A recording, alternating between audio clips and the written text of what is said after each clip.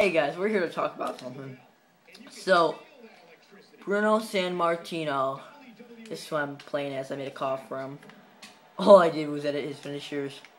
Was added to the Hall Fame. Um, him and is, was like the Cena of WWE in his day.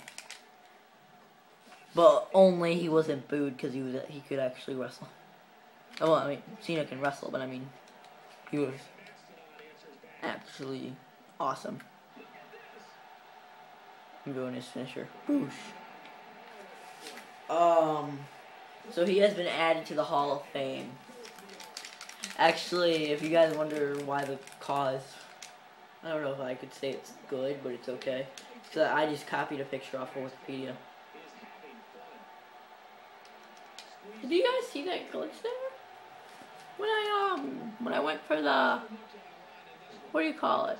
He um flipped over. Oh, there he goes. Um, WWE's been trying to do this for a long time. I saw a picture of him now. Completely different. It's probably because he's old, but still. In his day, he was the WWE. I mean, he was the John Cena of his days. All I did was edit his finishers and his signatures. Had my custom airplane spin on it for him.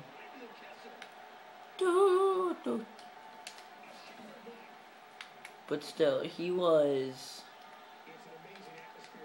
one of the greatest. Here's my custom airplane spin.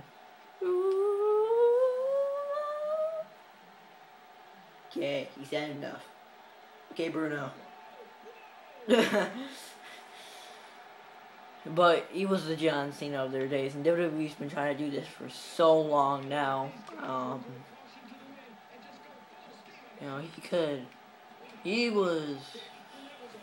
I don't know what to say now. know, yeah, in the, my WrestleMania 3 arena.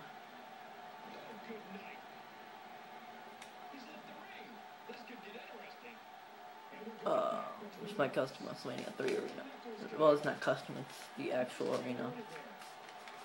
The one where, the exact arena where Hogan body slammed Andre the Giant. Claimed to be the first man. That's when he found out wrestling was fake. Nah, we always knew. But yeah, Ben, he, I don't know, but I don't think Buddy Rogers. Uh, Buddy Rogers was a lot better than Cena is, though. There we go, the bottom will stretch.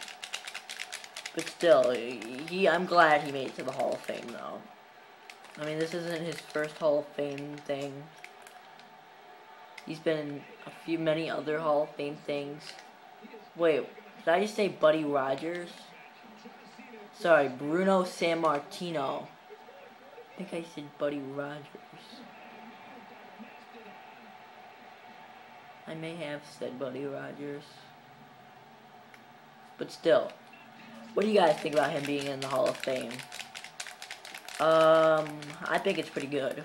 I'm, I'm glad, you know. Who do you, what do you guys think? Slimber out.